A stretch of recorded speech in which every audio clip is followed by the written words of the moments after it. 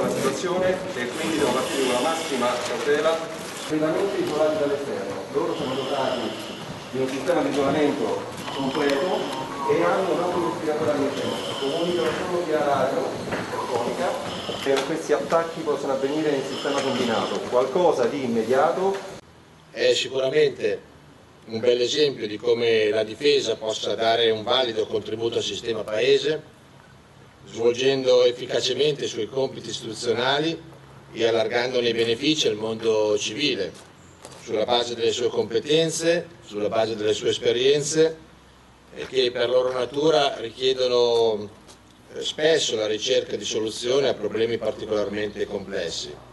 Sin dai primi giorni della pandemia la scuola NBC ha nel contempo garantito insieme alle altre articolazioni della difesa un eh, contributo che io non esito a definire qualificato e anche insostituibile attraverso l'impiego del proprio personale in molte attività a favore della popolazione.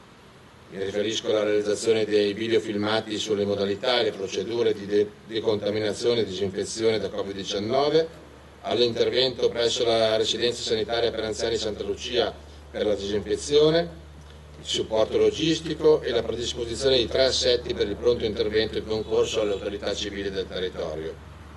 A questo importante sforzo si è aggiunta la recente inaugurazione del nuovo hub vaccinale anti-Covid proprio qui a Rieti, all'interno della caserma Verdi Rosi, frutto della sinergia e della collaborazione proficua tra la scuola NBC, l'ASD Rieti l'assessorato regionale alla sanità.